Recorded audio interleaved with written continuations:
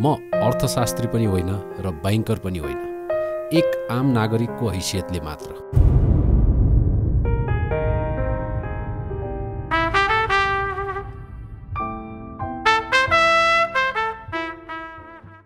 एउटा रोजगार नेपालीको आम्दानी न्यूनतम पन्ध्र हजार अधिकतम एक लाख सतहत्तर हजार रुपियाँसम्म छ। पन्ध्र हजारको पनि जागिरै नपाउने करिब एक करोड जति त होलान् नेपालीहरू। अब हिसाब गरौँ एउटा जागिरेले रेस्टुरेन्टमा खाना वा पेय पदार्थ पिउँदाको खर्च र आम्दानी समानान्तर छ त? एक कप कफीकै चार पाँच सय रुपियाँ पर्छ। भने दाल भात दुई सय रुपियाँदेखि तिन हजार रुपियाँसम्म एक थालीको यही काठमाडौँमा बिक्छ। अब बियरकै कुरा गर्ने हो भने चार सय रुपियाँदेखि एक हजार रुपियाँसम्म पर्न जान्छ।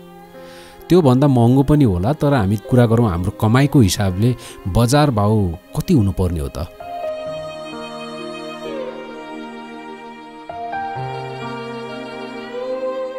चिया कफी दस बिस रुपियाँ दाल भात चालिस पचास रुपियाँ।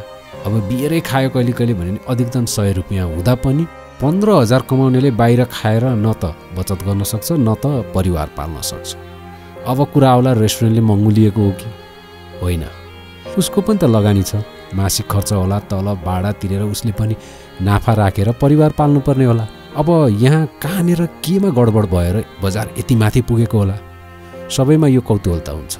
नेपालमा खाना र पेय पदार्थको मूल्य युरोप अमेरिका जापान कोरियाको मूल्य उस्तै उस्तै छ।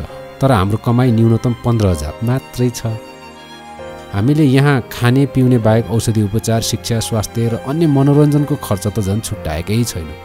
अब भन्नु सामान्य नागरिक यो महँगीमा कसरी बाँचेका होला तपाईँ कमेन्ट गर्नुहोस्।